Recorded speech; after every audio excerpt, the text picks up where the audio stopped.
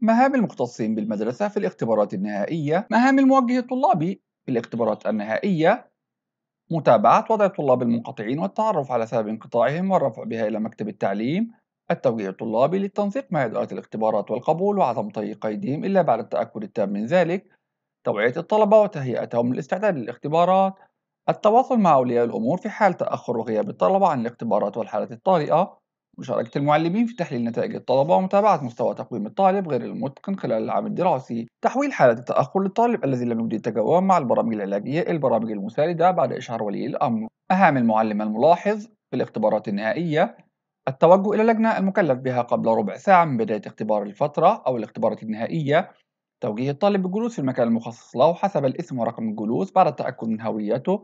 تهيئة الأجواء المناسبة للطلبة وعدم استخدام الهاتف والجوال والحديث الجانبي داخل قاعة الاختبار لما يسبب ذلك من تشويش. التأكد من توزيع نماذج الأسئلة الصحيحة على الطلاب في قاعة الاختبار والتأكد من عدد الأوراق.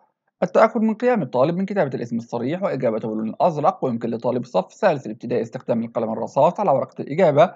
يمنع الإجابة عن استفسار في الأسئلة بما يوحي بالإجابة أثناء الاختبار أما في حالة وجود كلمات غير واضحة فيمكن لرئيس اللجنة توضيح ذلك عند الضرورة بالتنسيق مع معلم المادة. تطبيق ضوابط التصحيح الآلي في أعمال اختبارات المدارس المطبقة وفقا للتعميم المنظم لذلك التعامل مع الطالب المخالف لأنظمة الاختبارات وفق إجراءات لائحة تقويم الطالب وتسجيل محضر ذلك. والتوقيع عليه من الملاحظ والمشرف. على اللجنة الطالب الغائب يكتب كلمة غائب أمام اسمه في كشف تسليم أوراق الإجابة كشف المناداة ويعمل محضر وفق النموذج لا يسمح لأي طالب بتسليم ورقة إجابته قبل مضي نصف الوقت المحدد للإجابة إلا إذا اقتضت ضرورة صحية لطالب ما. فيمكن خروجه بعد التأكد من وضعه وموافقة مدير المدرسة والتوقيع في كشف تسليم أوراق الإجابة. كشف المناداة التأكد من عدد أوراق الإجابة عند الاستلام ترتيب أوراق إجابة كل مادة حسب ترتيب الطلاب في اللجان تسليم أوراق الإجابة للجنة المشرفة والملاحظة عقب انتهاء موعد اختبار أو خروج آخر طالب من القاعة لكل مادة والتأكد من تسلسل أرقام الجلوس ومطابقة الأسماء وفقا للكشوف المعدة مسبقا وأن يكون للطالب إما ورقة إجابة أو استمارة غياب لكل مادة.